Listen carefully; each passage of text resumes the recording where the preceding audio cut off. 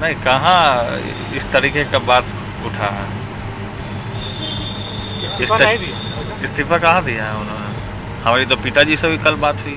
नमस्कार मैं हूँ शुभे और आप देख रहे हैं न्यूज़ फॉर नेशन बिहार की सियासत में इन दिनों सब कुछ ठीक नहीं दिखाई दे रहा। आए दिन सियासी गलियारों में नई नई चर्चाएँ सामने आ जाती है। और इसी कड़ी में अगर तेज प्रताप यादव की बात करें, जगदानंद सिंह की बात करें तो ये बात सामने आई कि जगदानंद सिंह ने अपने पद से इस्तीफा दे दिया है। लेकिन इन बातों का खंडन पहले जगदानंद सिंह ने पूर्ण रूप से नहीं किया। और आज जब तेज प्रताप यादव मीडिया के सामने आए तो उन्होंने साफ़ तौर पर कहा कि नाराज़गी किस बात की? मुझसे क्यों नाराज़ होंगे?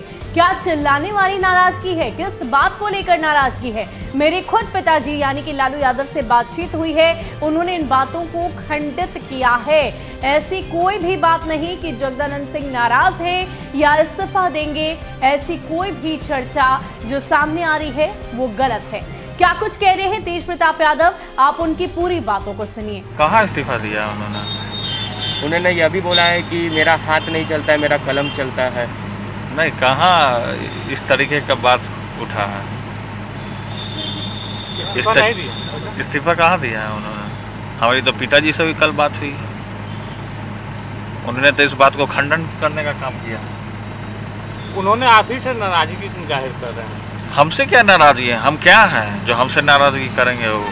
आप तो अंकल शब्द से प्रयोग कर रहे हैं लेकिन वो कह रहे हैं कि क्या कह रहे हैं वो? नाराज़गी उन्हीं से है। नहीं तो क्या कह रहे हो नाराज़गी? मतलब नाराज़गी कैसा होता है नाराज़गी? चिल्लाने वाला नाराज़गी होता है।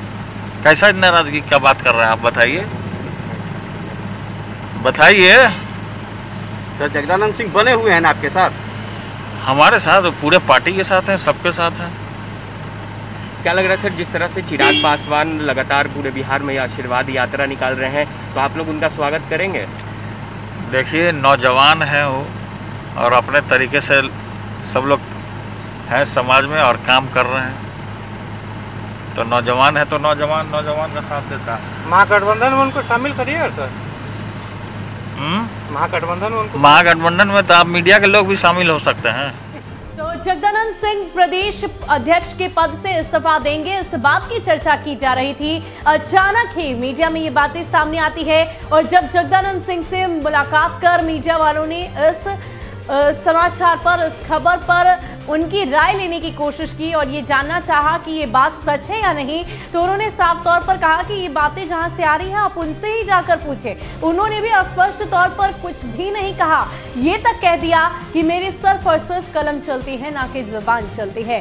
अब ऐसे में इसके बहुत सारे सियासी मायने निकाले जा रहे हैं। जगदानंद सिंह एक तरफ़ लगातार इससे पहले तस्वीरें सामने आई है। अगर आपको याद हो तो जब आरजेडी कार्यालय में किसी भी तरह की जो मौजूदगी होनी चाहिए थी नेताओं की। अब तेज प्रताप यादव जब वहाँ पहुँचे थे तो उन्हें रिसीव करने वाला कोई नहीं था।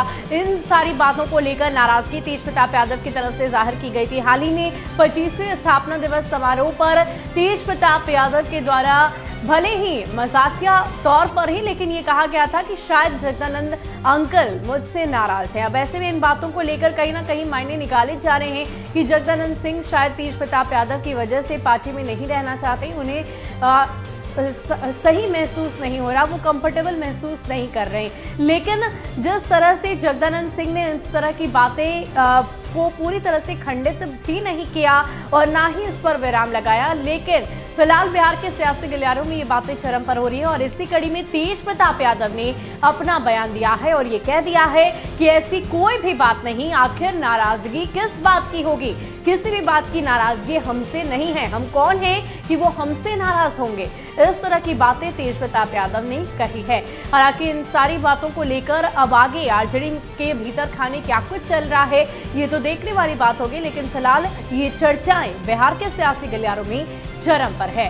फ़िलहाल के लिए इतना ही। ज़्यादा अपडेट के लिए आप बने रहे न्यूज़ नेशन के साथ। नमस्कार।